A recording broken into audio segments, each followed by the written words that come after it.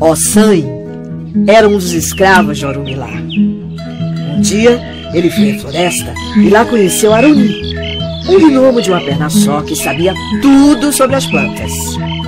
Os dois tornaram-se amigos e Aroni ensinou a Ossan todo o segredo das ervas.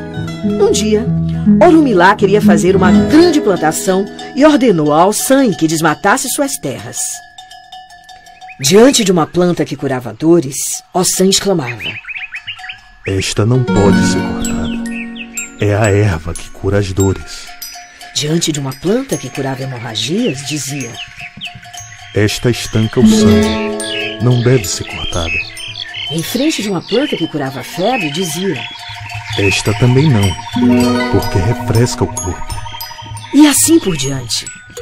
Orumilá, que era muito procurado por doentes, interessou-se então pelo poder curativo das plantas e pediu que Ossan ficasse junto dele e o ajudasse a curar os doentes com o uso das ervas miraculosas. Assim, Ossan ficou conhecido como o grande médico que é.